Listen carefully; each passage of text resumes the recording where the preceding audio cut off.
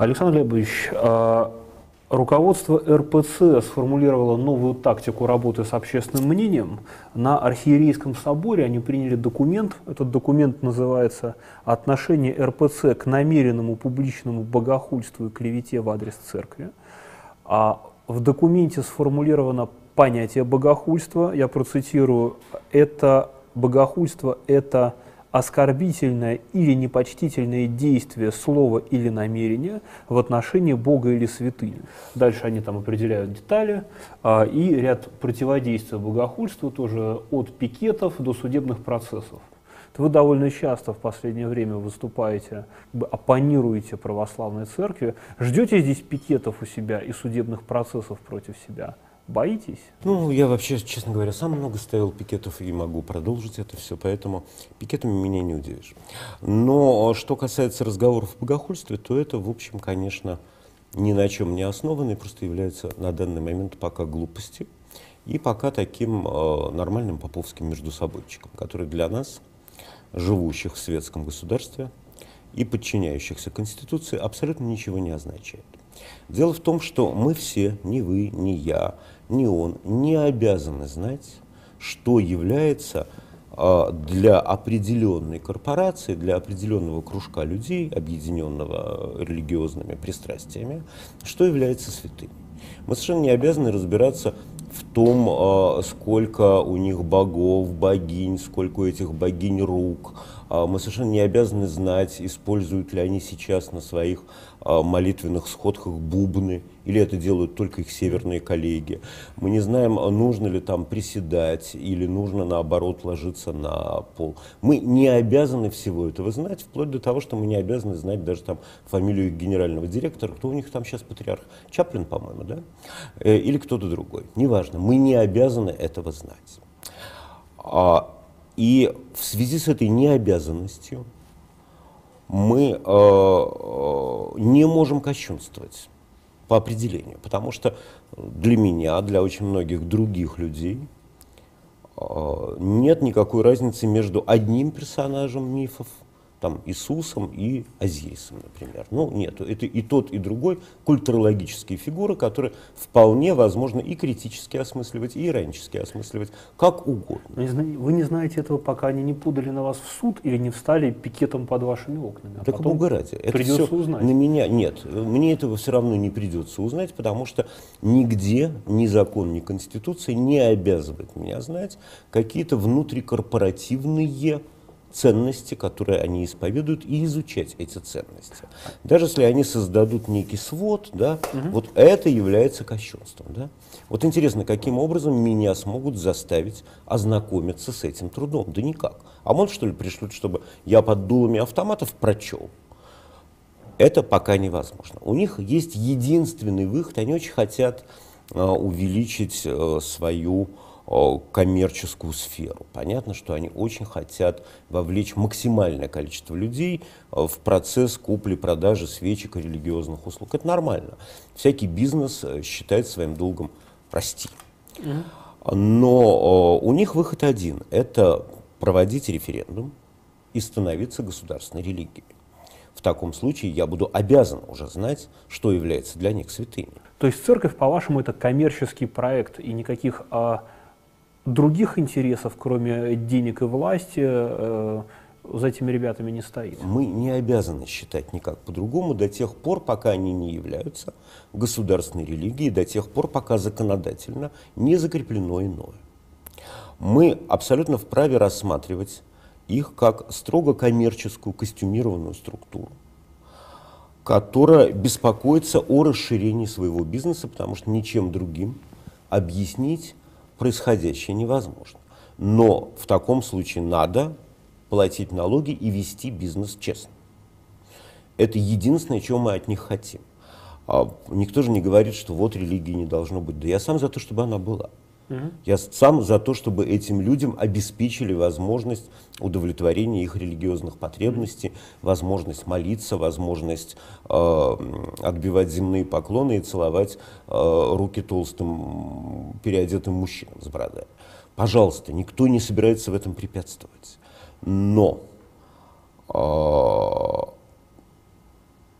необходимо вернуть религию туда, где она должна находиться, в область частной личной жизни. Это всего-навсего соответствие Конституции. И я, кстати, первый за то, чтобы прекратить всякую атеистическую пропаганду, если будет прекращена религиозная. Вообще сделать эту тему запретной и закрытой.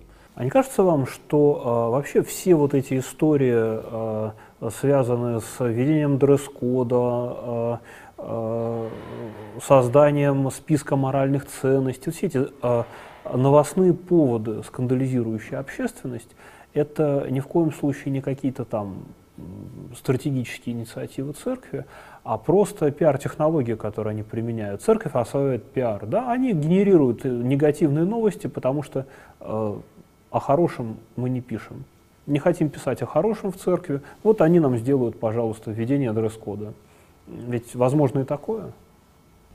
Не думаю, там пока нет таких штыков, которые были бы способны на такие многоходовки. Я думаю, что это просто достаточно примитивная э, тенденция к разрастанию. Ведь в чем проблема-то заключается? Ну вот у людей есть э, заработок, да? Mm-hmm. Я имею в виду попов. Есть люди, для которых, у которых есть устойчивое хобби, или не очень устойчивое, я имею в виду верующие, да? Ну, как бы православие тот же самый вид хобби. Mm-hmm. Но ничем принципиально от любого другого хобби это не отличается. Ну, могут быть какие-то коктусоводы, там, филинологи, люди, которые умеют вышивать бисером. Но чем отличается религия от них, от коктусоводов и филинологов? Религия стремится всем, кто не разделяет ее взглядов на реальность, всех этих людей объявить неполноценными, неправильными, больными, заблуждающимися, убогими и так далее, и так далее. И смысл религии, конечно, в том, чтобы бесконечно расширяться. Ну, им, нужно, им нужны... Как и любой идеологии вообще. Да, конечно, потому что любая идеология – это такая же финансовая организация всегда. И чем больше будет покупатель свечку, тем крепче будет, э, собственно, конструкция самой религии. Угу. Это понятно. Да? Александр послушайте, вам не кажется, что те люди, которые оппонируют русской православной церкви, а в каком смысле еще хуже, да? Потому что у церкви есть какие-то моральные ценности хотя бы за спиной. А что есть у этого либерального болота, которое а, выступает против русской православной церкви? А, некая а, мифическая, не менее мифическая, чем религиозные догматы, концепция прав человека а, и либеральный релятивизм, а не будет русской православной церкви, что останется? Извините, молочные железы Волочковой? Э, вы знаете, я не думаю, что когда-нибудь церкви не будет, да? Я думаю, что либо она, либо на ее месте будет некое образование, которое будет вот эти вот магические, мистические, религиозные потребности определенных людей удовлетворять. Mm-hmm. Это будет всегда. И э, то, что вы называете молочными железами Волочкова, это не настолько вселенское, не настолько огромное явление, чтобы действительно заполнить собой все, все психологическое пространство России и окружающих. Ну, по крайней мере, на Украину точно не хватит. Mm-hmm. Там, я думаю, есть что показать в ответ. И это будет, я думаю, в самом, в самом скором времени сделано. Но, когда вы говорите о церкви как о носителе морали, позвольте с вами не согласиться, потому что считать нужно не слова, а трупы. Трупы. И если мы посмотрим, какое количество религиозных войн, трупов, крови, ненависти друг к другу сгенерировало христианская мораль, то мы поймем, что э, немецкому фашизму до нее, конечно, далеко. И когда э, я говорю, что не было церковной репрессии в отношении церкви, их действительно не было. Были сведения счетов прихожан со своими духовными наставниками и воспитателями. Которым наконец-то развязали руки. Совершенно верно. Ведь все люди, посмотрите, в каком году произошла революция? В 17 году. Совершенно верно. В каком году э, возник, э, был опубликован декрет о свободе вероисповедания? В 1906 году. Угу. То есть до 1906 года причастие, катехизация, закон Божий, э, воскресный... в строго обязательном порядке. То есть все люди, которые делали революцию, все люди, которые наворотили эти 20 миллионов трупов, все люди, которые совершали изнасилования, жгли, сбрасывали попов с колоколен, это все крещенные, верующие, причащенные люди. То есть итог, к чему они могут привести, итог их педагогирования – мы видим, мы его один раз видели, мы это уже прошли. Поэтому, когда я говорю, что это достаточно опасная по своей сути идеология, которая, если кто-то ее хочет исповедовать, да пожалуйста, но в режиме частной жизни. Александр Глебович, ну вот я не понимаю, а когда выходит телевизор какой-то политик, этот политик учит нас, как жить, а мы почему-то к этому относимся совершенно толерантно, да, а, по крайней мере, более толерантно, а, чем а, когда то же самое делает священник. Хотя, казалось бы, кто такой вот этот э, дядя в костюме, кто такой этот политик, а, почему, почему он а, пытается каким-то образом менять нашу жизнь. Но мы его терпим, а священника мы не терпим. Почему? Ну, потому что, скажем так, политик получает деньги именно за это. Да? Это его прямая обязанность пытаться воздействовать на общественные, достаточно суетные, достаточно мирские, достаточно обиходные процессы, какого, какой длины должна быть юбка, сколько должна быть открыта ляжка, а, какого цвета, и должны ли быть трусы в горошек или нет, я не знаю. Там. Mm-hmm. Дело в том, что они занимаются совершенно несвойственным им делом. Понятно, что они рекламируют свой концерн, да? что им нужно увеличить число покупателей свечек, и они не, не остановятся ни перед чем, даже перед тем, чтобы стать посмешищем, но, как говорится, любая публикация хороша, кроме некролога. И вот они идут на эту, наверное, все-таки я косвенно подтвердил, справедлива была ваша мысль, что пусть и неловкая, пусть и корявая, но вот это стремление самопиариться любой ценой, расширяя рынок религиозных услуг, тем самым, все-таки, наверное, вы были правы.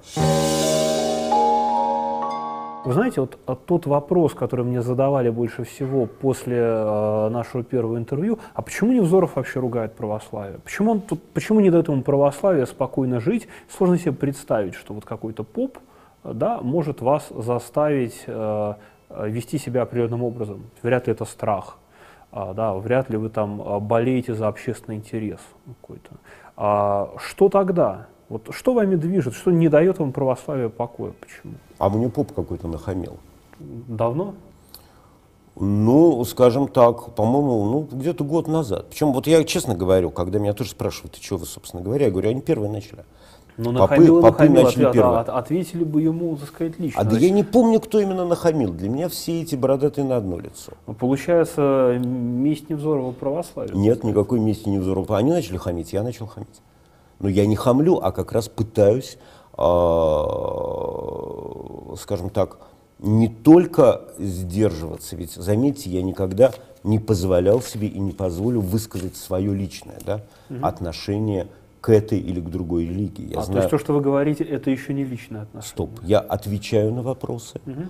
задаю вопросы или оперирую общеизвестными фактами. Это не личное, угу. конечно это не мое отношение к религии, это всего-навсего та объективная реальность, которую я э, довольно пунктуально пытаюсь исследовать.